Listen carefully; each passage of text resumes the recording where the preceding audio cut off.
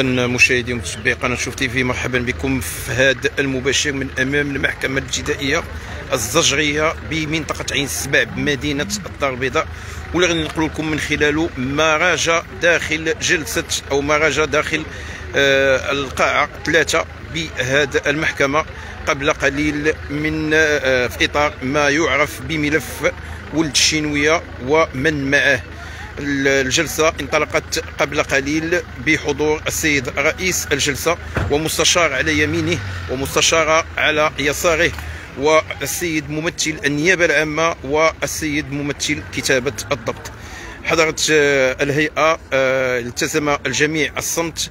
بعد قليل طلب السيد الرئيس من عناصر الأمن أو استجوبهم حول وصول المعتقلين أو الموقوفين فأجاب أحد رجال الأمن بأن ربما تأخر حضور أحد المعتقلين لترفع الجلسة قبل أن تنطلق.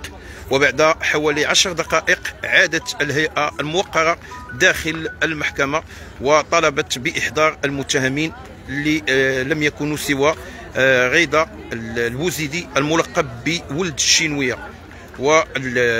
والمعتقلة الآخرة المسمات فاطمة والملقبة ببنت عباس يوتيوبرز حتى هي عموما انطلقت الجلسة نادى السيد رئيس الجلسة على المتهمين المعتقلين والحاضرين في حالة سراح كل عدد الأطراف كانت حوالي 12 أو 13 متهم من بينهم جوج متابعين في حالة اعتقال والباقي متابع في حالة سراح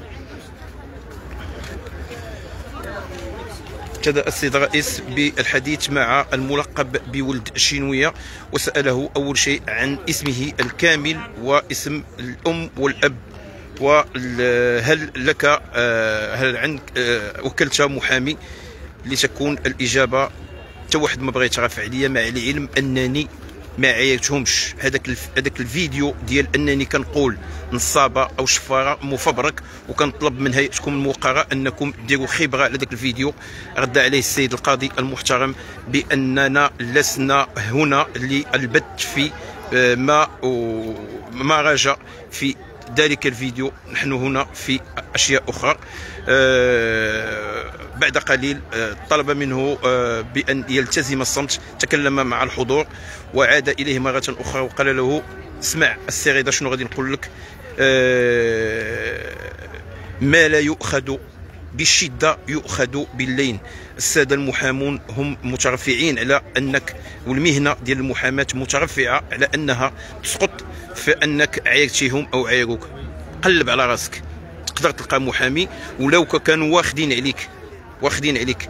آه شي آه موقف ما غاديش يترافعوا على على الأفراد ديال العائلة ديالك ولا الأفراد اللي معك اذا هذا ما قاله السيد رئيس الجلسة آه لكي يروج لكي آه يروج أمامها ملف ما يعرف بولد الشينويه ومن معه ما لا يؤخذ بالشدة يؤخذ باللين ومهنة المحاماة هي مترفعة عن آه مثل هذه آه المتابعات أو بأن زعما غادي يتقلقوا عليك وما غاديش يترافعوا عليك. لا. آه يعني حاول ما أمكن ولهذا طلب منه غيدا والشينوي طلب من السيد الرئيس بأن يمهله مدة حتى يعد الدفاع أو يجد من يدافع عليه.